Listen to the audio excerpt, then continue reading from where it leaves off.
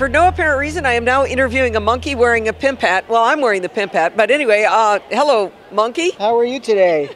I'm doing good. What uh, what company do you represent? We're with WeCam, and it's our app is called WeCam Chat, and we're a, com- a Canadian company based in Toronto, and we have an app available on iOS and Android that allows video chat communication between all platforms. Between iOS and, Android. Android. What the, the key to this though is it takes all your social accounts, your Facebook, your Twitter, and your Google Plus, mashes it all into one list. Now your Twitter friend can call your Facebook friend and see them in a video chat.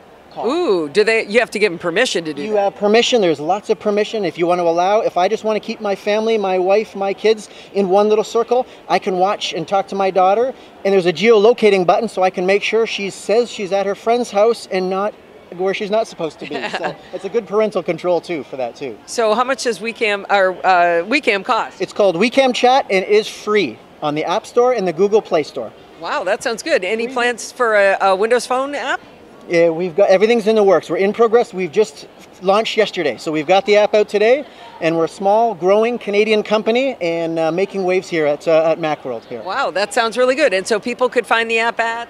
on the uh, App Store uh, and or on Google Play. It's uh, it's available today, ready for everybody. All right, thank you very much Thank for you, thank you, perhaps the most unique uh, interviewing outfit I've ever had here. thank you. WeCam Chat. Thanks.